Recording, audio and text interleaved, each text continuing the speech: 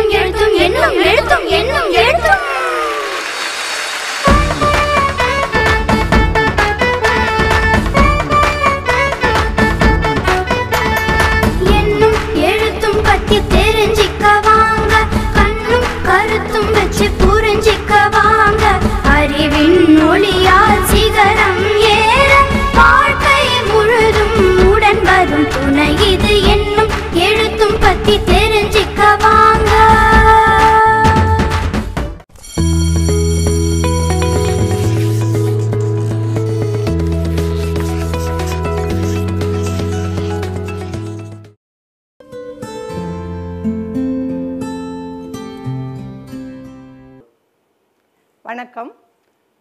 எழுத்தும் திட்டத்தில் ஆசிரியர் கையேடும் குழந்தைகளுக்கான பயிற்சி நூல்களும் உருவாக்கப்பட்டிருக்கு. ஆசிரியர் கையேடு ஏன்? ஆசிரியர் கையேட்டோட உள்ளடக்கம் என்ன? அப்படிங்கிறது குறித்து இதில் பார்க்கலாம். கடந்த காலங்களில் குழந்தைகளுக்கான பாட நூலில் பாடப்பொருள் இருக்கும் ஆசிரியருக்கான வழிகாட்டுதலும் இருக்கும் குழந்தைகளுக்கான பயிற்சிகளும் இருக்கும். இங்கே ஆசிரியர் கையேட்டில் ஆசிரியருக்கான வழிகாட்டுதலும் பாடப்பொருளும் கொடுக்கப்பட்டிருக்கு. குழந்தைகளோட பயிற்சி நூல்களில் குழந்தைகளுக்கான பயிற்சிகளோட பாடப்பொருளோட இணைப்பு கொடுக்கிற வகையில் படங்களும் படக்கதைகளும் மட்டுமே கொடுக்கப்பட்டிருக்கு. இது ஆசிரியர் கையேட்டோட உள்ளடக்கம். பனிரெண்டு அலகுகள் கொடுக்கப்பட்டிருக்கு. முதல் மூன்று அலகுல குழந்தைகள் நிறைய கேட்பதற்கும் பேசுவதற்குமான வாய்ப்புகள் கொடுக்கப்பட்டிருக்கு. படித்தலுக்கும் எழுதுதலுக்குமான முன்பழகு செயல்பாடுகளும் கொடுக்கப்பட்டிருக்கு. இறுதி பகுதியில் சிறப்பு கவனம் தேவைப்படும் குழந்தைகளுக்கான சில பரிந்துரைகள் கொடுக்கப்பட்டிருக்கு. சிறப்பு கவனம் தேவைப்படும் குழந்தைகள் யார்? நாம வகுப்பறையில் பல்வேறு உத்திகளை கையாண்டு கற்றல் கற்பித்தல் செயல்பாட்டில் ஈடுபடுவோம். எத்தனை வகையான செயல்பாடுகளில் ஈடுபட்ட போதும் கூட நாம் எதிர்பார்க்கக்கூடிய கற்றல் விளைவுகளை பெற இயலாமல் சில குழந்தைகள் இருக்கக்கூடும். அதை அவங்களோட குற்றமாக பார்க்க முடியாது. அவர்களுக்கு ஏற்ற வகையில் நாம் இன்னும் கொடுக்கலன்னு கூட சொல்லலாம். அதற்கு ஏற்ற வகையில் சில பரிந்துரைகளை இந்த பகுதியில் கொடுக்கப்பட்டிருக்கு. நான்காவது அலகிலிருந்து ஏழாவது அலகு வரை உயிரெழுத்துகளை மையமாக கொண்டு பாடப்பகுதி அமைக்கப்பட்டிருக்கு. அதாவது அரும்பு மொட்டு மலர்நிலை குழந்தைகளில் உயிரெழுத்துகள் அறிமுகத்தோட மொட்டு மலர்நிலை குழந்தைகளுக்கான சொற்கள் அறிமுகமும் இங்கே கொடுக்கப்பட்டிருக்கு. எட்டாவது அழகில் ஒரு புதிய முயற்சி இருக்கு. குழந்தைகள் சொற்களை எழுத்து கூட்டி வாசிக்காம அப்படியே சொல்லாக அதாவது ஓவியமாக படிக்கக்கூடிய வாய்ப்பை கொடுக்கும் வகையில் எட்டாவது அழகில் ஒரு பாடப்பகுதி அமைக்கப்பட்டிருக்கு. இந்த பகுதியை பொறுத்த வரைக்கும் குழந்தைகள் ஒரு சொல்லின் ஒலிப்பிலிருந்து அதோட பகுதி சொல்லின் ஒலிப்பை குழந்தைகள் அவர்களே ஊகித்து கண்டறியும் வண்ணம் அந்த பாடப்பகுதி கொடுக்கப்பட்டிருக்கு. ஒன்பதாவது அலகிலிருந்து பதினோராவது அலகு வரைக்கும் மெய்யெழுத்துகளை அடிப்படையாக கொண்டு பாடப்பகுதி அமைக்கப்பட்டிருக்கு. அதாவது அரும்பு மொட்டு நிலை குழந்தைகளுக்கு மெய்யெழுத்துகளையும் மொட்டு மலநிலை குழந்தைகளுக்கு மெய்யெழுத்துகளோடு சேர்ந்து சொற்களையும் அறிமுகப்படுத்தும் பகுதியாக அமைக்கப்பட்டிருக்கு. மலர்நிலை குழந்தைகளுக்கு கூடுதல் திறன்களுக்கான பாடப்பொருளும் அமைக்கப்பட்டிருக்கு. பன்னிரெண்டாவது அலகை பொறுத்த வரைக்கும் குழந்தைகளோட வாழ்க்கை திறன்களை மையப்படுத்தி பாடப்பொருள் அமைக்கப்பட்டிருக்கு.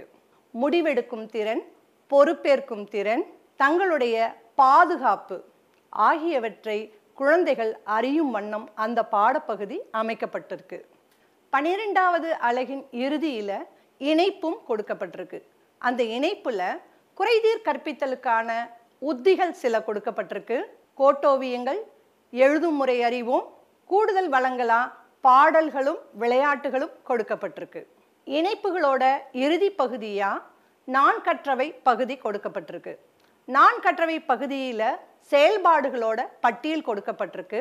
இந்த பட்டியல் வளரறி மதிப்பீடு செய்வதற்கான பட்டியல். குழந்தைகளை வளரறி மதிப்பீடு செய்வதற்காக இந்த செயல்பாடுகளை நீங்கள் பயன்படுத்தி கொள்ள முடியும். அந்த செயல்பாடுகளின் பட்டியலில் ஐந்து ஏழு பதினொன்று ஆகிய பகுதிகளில் ஐந்து புள்ளி ஒன்று ஏழு புள்ளி ஒன்று பதினொன்று புள்ளி ஒன்று என்று குறிப்பிடப்பட்டிருக்கு.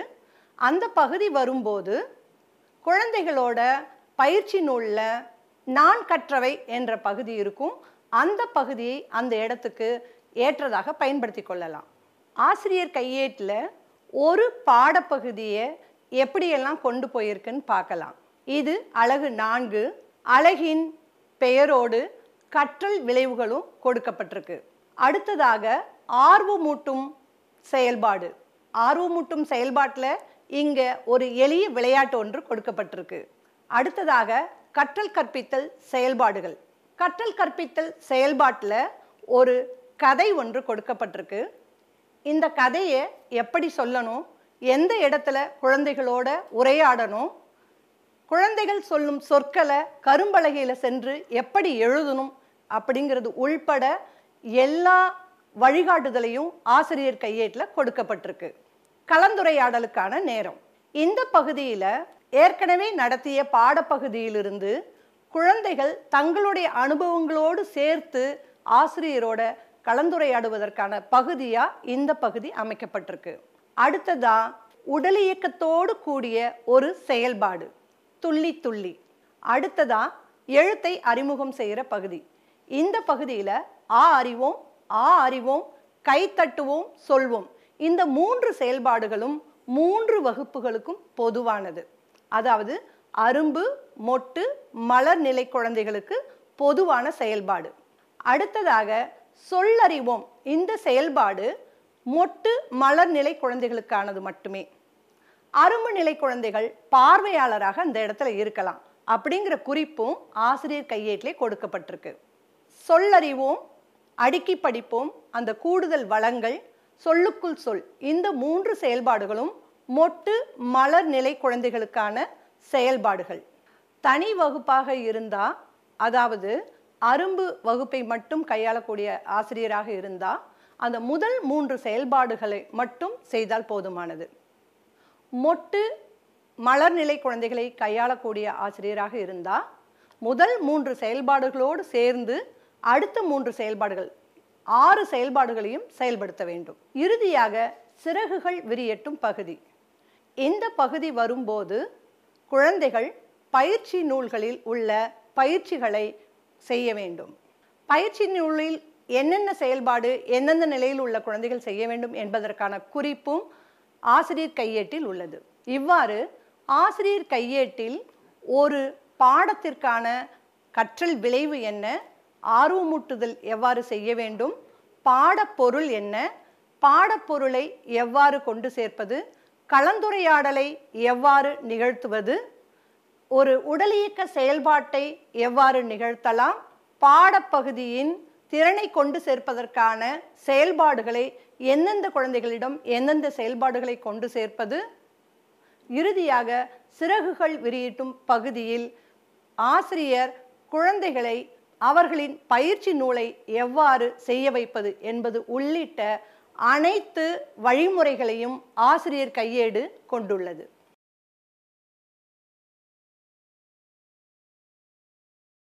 எண்ணும் எழுத்தும் திட்டத்துல தமிழ் பயிற்சி நூல் எப்படி இருக்கு அப்படின்னா அரும்பு மொட்டு மலர் அப்படின்னு மூன்று பயிற்சி நூல்களா உருவாக்கி கொடுத்துருக்கோம். இந்த மூன்று பயிற்சி நூல்கள்ல அரும்பு நீல நிறத்திலும் மொட்டு மஞ்சள் வண்ணத்திலும் மலர் பச்சை வண்ணத்திலும் இருக்கு. இந்த அரும்பு என்பது முதல் வகுப்புக்கும் மொட்டு இரண்டாம் வகுப்புக்கும் மலர் மூன்றாம் வகுப்புக்கும் உரிய பயிற்சி நூல்கள். முதல் வகுப்புக்கு உரிய பயிற்சி நூலான அரும்பு பயிற்சி நூலில் அரும்பு நிலைக்கான பயிற்சிகள் மட்டுமே இடம்பெற்றிருக்கும். அதே போல இரண்டாம் வகுப்பில் குழந்தைகள் இரண்டு நிலைகள்ல இருப்பாங்க அப்படிங்கிறத கணக்கில் கொண்டு அரும்பு மொட்டு நிலைக்கான பயிற்சிகள் தனித்தனியே உள்ளே வழங்கப்பட்டு இருக்கிறது மூன்றாம் வகுப்பிற்கும் குழந்தைகள் மூன்று நிலைகள் அரும்பு மொட்டு மலர் நிலைகளில் இருப்பாங்க. அப்படிங்கிறத கணக்கில் எடுத்துக்கிட்டு அரும்பு மொட்டு மலர் நிலைக்கான பயிற்சிகள் மூன்றாம் வகுப்பு பயிற்சி நூலில் கொடுக்கப்பட்டிருக்கிறது. ஒவ்வொரு வகுப்பிலுமே மாணவர்களின் நிலைக்கு ஏற்ப பயிற்சிகள் அமைந்திருப்பது இந்த பயிற்சி நூலுடைய சிறப்பு. இப்ப பயிற்சி நூலுக்குள்ள என்ன இருக்கு அப்படிங்கறத பார்க்கலாமா? கற்றல் கற்பித்தல் பகுதிகளுக்கான படங்களும் படக்கதைகளும் இடம்பெற்றிருக்கு. இந்த படங்களும் படக்கதைகளும் குழந்தைகளை பாடப்பொருளோடு இணைத்து இயங்க வைக்கிறதுக்கு உறுதுணையா இருக்கு. அடுத்ததாக எழுத்து சொற்கள் போன்றவை அறிமுக பகுதிகளாக நாம கொடுத்திருக்கோம். அடுத்ததாக படித்தல் எழுதுதலுக்கான பயிற்சி செயல்பாடுகளும் அதே பயிற்சி புத்தகங்கள்ல இடம்பெற்றிருக்கு. மதிப்பீட்டு செயல்பாடுகளும் அதுல வழங்கப்பட்டிருக்கு. இப்ப நாம முதல் மூன்று அழகுகளில் என்னெல்லாம் கொடுக்கப்பட்டிருக்குன்றத பார்க்கலாம்.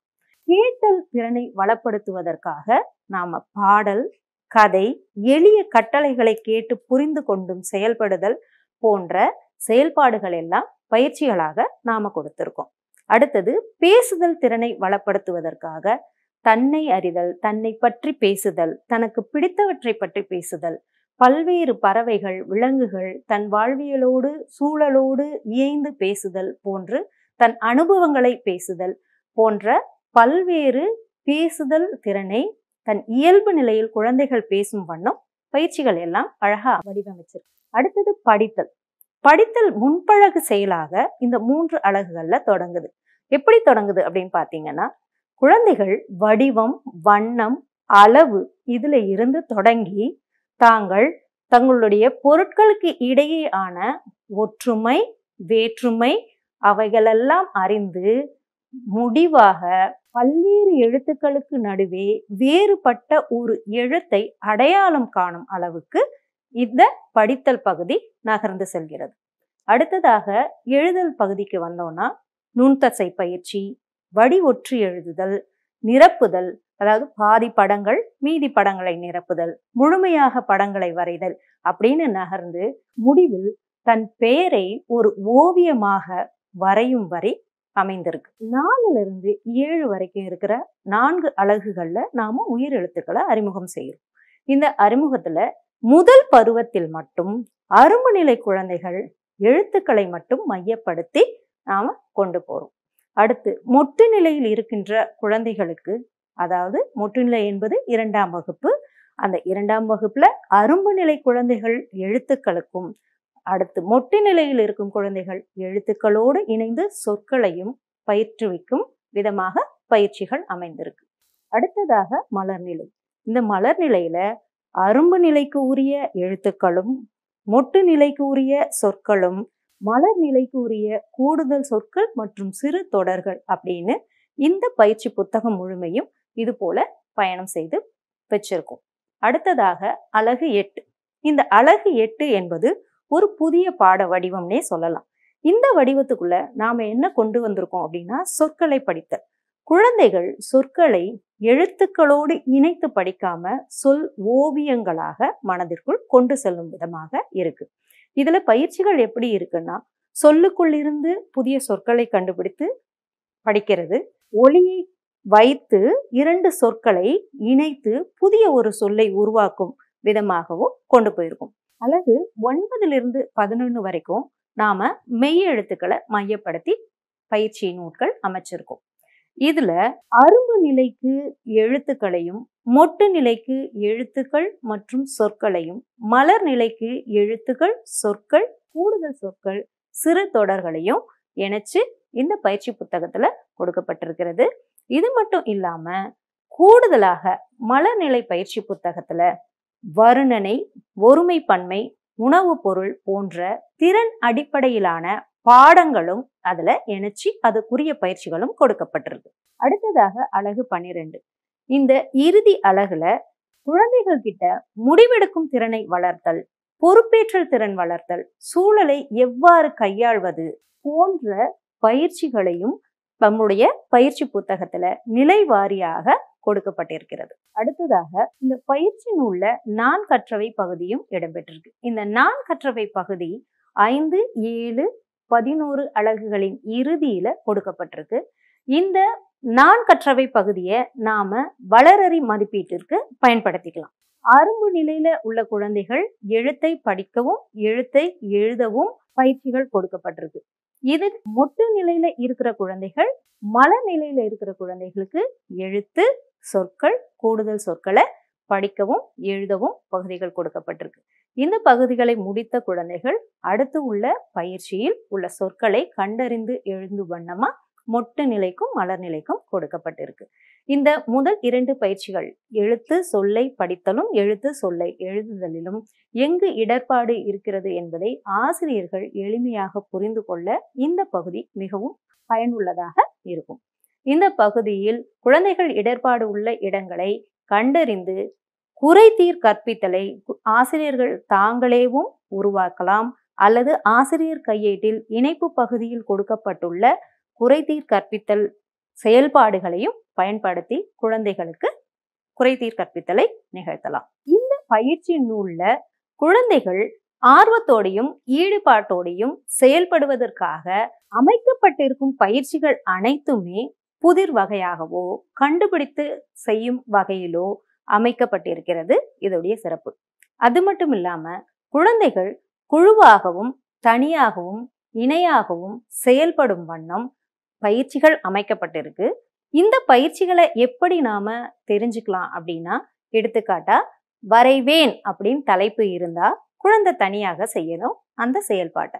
அதுவே வரைவோம் அப்படின்னு இருந்தா குழந்தைகள் இணையாகவோ குழுவாகவோ இணைந்து செய்யக்கூடிய விதமாக நாம தலைப்புகள்லேயே வேறுபடுத்தி காட்டியிருக்கோம் இந்த பயிற்சி நூல்ல.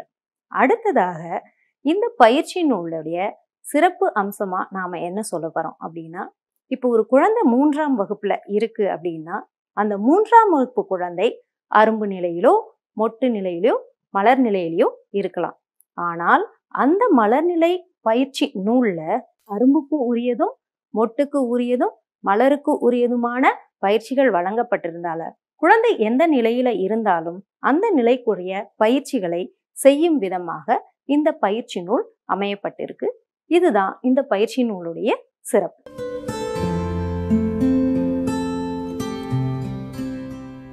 தமிழ் பாடத்தில் முதல் மூன்று அழகில் குழந்தைகள் நிறைய உற்று நோக்குவதற்கும் கேட்டு புரிந்து கொள்வதற்கும் பேசுவதற்குமான வாய்ப்புகள் கொடுக்கப்பட்டிருக்கு. எழுதுவதற்கும் படிப்பதற்குமான முன்பழகு செயல்களும் நிறைய கொடுக்கப்பட்டிருக்கு. இது முதல் அலகு பாடி ஆடி விளையாடலாம். இந்த அழகில் மூன்று பாடங்கள் கொடுக்கப்பட்டிருக்கு. முதல் பாடமாக ஆலமரத்தில் விளையாட்டு என்ற பாடல் கொடுக்கப்பட்டிருக்கு. பாடலை பாடுவதற்கு இங்கே பல்வேறு உத்திகள் கொடுக்கப்பட்டிருக்கு. பாடலை வழக்கமாக நாம் எப்படி கொண்டு செல்வோம்? ஏதோ ஒரு மெட்டமைத்து குழந்தைகள்கிட்ட கொண்டு சேர்ப்போம். குழந்தைகள் அதை மீண்டும் மீண்டும் பாடி பழகுவார்கள். இல்லையா? இங்கு பாடலை பாடுவதற்கு மெட்டமைப்பதற்கு ஆசிரியர் உதவி மட்டுமே செய்வார். குழந்தைகளே தங்களுக்கு பிடித்த விருப்பமான ஒரு மெட்டை தேர்ந்தெடுத்து பாடுவாங்க. அப்படி அவங்க பாடும்போது ஆர்வத்தோடையும் ஈடுபாட்டோடையும் பாடுவதற்கு வாய்ப்பு அதிகம் குழந்தைகள் இங்கும் மீண்டும் மீண்டும் தான் பாடுவார்கள். ஆனால் ஒவ்வொரு முறை பாடுவதற்கும் ஒவ்வொரு காரணம் இருக்கும். அவ்வாறு சில அணுகுமுறைகள் இங்கே கொடுக்கப்பட்டிருக்கு. அழகு மூன்றில் சேர்ந்தே போவோம் என்ற தலைப்பில் ஒரு பாடலுக்கான ஒரு காணொளி இணைக்கப்பட்டிருக்கு. அந்த காணொளியில் இந்த உத்திகளை பயன்படுத்தி பாடியிருக்காங்க. அந்த பாடலுக்கு மட்டுமில்ல எல்லா வகையான பாடலுக்கும் இந்த உத்திகளை நாம பயன்படுத்த முடியும். இரண்டாவது பாடமாக விளையாடலாம் வாங்க என்ற பாடம் கொடுக்கப்பட்டிருக்கு. இதுல குழந்தைகள் தங்களுக்கு பிடித்தமான விளையாட்டுகளில் ஈடுபட போறாங்க. குழந்தைகள் உற்று நோக்கி கவனத்தை குவித்து ஒருங்கிணைந்து விளையாடுவதற்கான விளையாட்டுகள் நிறைய கொடுக்கப்பட்டிருக்கு. அது மட்டும் இல்ல குழந்தைகள் அந்தந்த பகுதியில் என்ன விளையாட்டுகள்லாம் விளையாடுவாங்களோ அந்த விளையாட்டுகளை விளையாடுவதற்கான வாய்ப்பும் அளிக்கப்பட்டிருக்கு.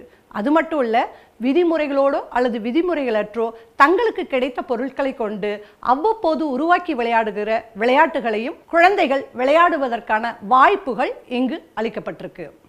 மூன்றாவது பாடம் கொண்டாட்டமாம் கொண்டாட்டம் பாடம். இந்த பாடப்பகுதியை பொறுத்த வரைக்கும் ஒரு சிறிய கதை கொடுக்கப்பட்டிருக்கு. அந்த கதையின் தொடர்ச்சியாக ஒரு தொகுப்பு படம் கொடுக்கப்பட்டிருக்கு. அந்த தொகுப்பு படத்தில் குழந்தைகளுக்கு பிடித்த விளையாட்டுகள் நிறைய கொடுக்கப்பட்டிருக்கு. குழந்தைகள் அந்த படத்தை பார்த்து தங்களுடைய அனுபவத்தோடு இணைத்து நிறைய பேசுவதற்கான வாய்ப்பாக அந்த தொகுப்பு படம் கொடுக்கப்பட்டிருக்கு. ஆக இந்த முதல் அழகில் மூன்று பாடங்கள்லையும் குழந்தைகள் கேட்பதற்கும் பாடுவதற்கும் விளையாடுவதற்கும் பேசுவதற்குமான வாய்ப்பாக இந்த பகுதி அமைக்கப்பட்டிருக்கு. ஒவ்வொரு பாடத்தோட இறுதியிலும் சிறகுகள் விரியட்டும் அப்படிங்கிற ஒரு பகுதி இருக்கு. இந்த பகுதி வரும்போது குழந்தைகள் தங்களுடைய பயிற்சி நூலை எடுத்து பயிற்சிகளை செய்வாங்க.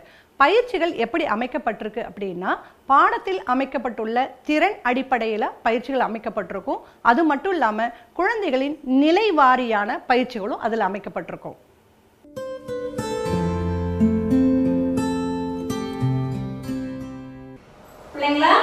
இப்ப எதுக்காக இங்க உட்கார்ந்துருக்கோம் இந்த மாதிரி வட்டமா?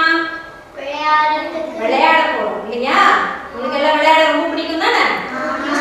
நாம இப்போ ஒரு விளையாட்டு விளையாடலாமா? சரி. இப்ப பிரதன்யா பாப்பா நான் என்ன செய்ய போறேன்? இந்த கைக்குட்டைய வச்சு கண்களை கட்டிடுவேன். கண்களை கட்டிட்டுமா? பிரதன்யாவுக்கு கட்டிட்டுமா? சரி. கட்டினதுக்கு அப்புறம் பிரதன்யா என்ன பண்ண போறா பிரதன்யா என்ன பண்ண போறா இந்த பொருட்களை நானு ஒவ்வொருத்தர்கிட்ட ஒண்ணு ஒண்ணு கொடுத்துருவேன் நான் கையை காமிக்கும் போது நீங்க எல்லாம் என்ன பண்ணணும் மணி இருக்கணும் ஆ? உங்க கையில இப்ப மணி இருந்தா என்ன பண்ணுவீங்க ஆமா அதுவே நான் ஊதல் கொடுத்தேன்னா என்ன பண்ணுவீங்க ஊதி காமிக்கணும் அதுக்கப்புறம் இந்த டப்பாக்குள்ள சில கற்கள் போட்டிருக்கேன் அப்ப இது யாரு வச்சிருக்கீங்களோ அவங்க கிட்ட கை நீட்டினோடனே நீங்க என்ன பண்ணணும்? இப்படி குலுக்கி காட்டணும் இந்த தட்டும் குச்சியும் ஒருத்தர் கிட்ட கொடுத்துரு இது யார் வச்சிருக்கீங்களோ அவங்க கிட்ட கையை காமிக்கும் போது அவங்க என்ன பண்ணணும் இந்த குச்சியை வச்சு தட்டுல இப்படி தட்டணும் இப்ப பிரத்தன்யா என்ன பண்ண போறா எந்த பக்கத்துல இருந்து ஒளி வந்திருக்குன்னு கண்டுபிடிக்க போறா சரியா கண்டுபிடிக்கிறாளான்னு பார்க்கலாமா பிரத்தன்யாக்கு கை கண்களை கட்டிடலாமா எல்லாரும் விளையாட ஆர்வமா இருக்கீங்க அப்படிதானே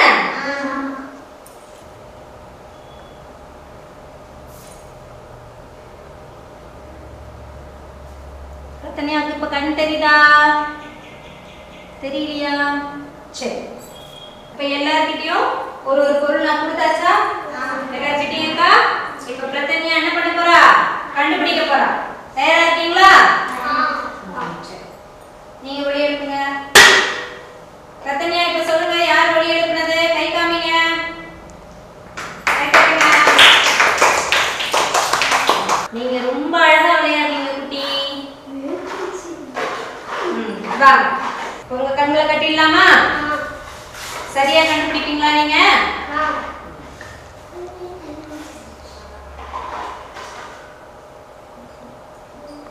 உங்ககிட்ட இருக்க பொருட்களை மாத்திக்கோங்க.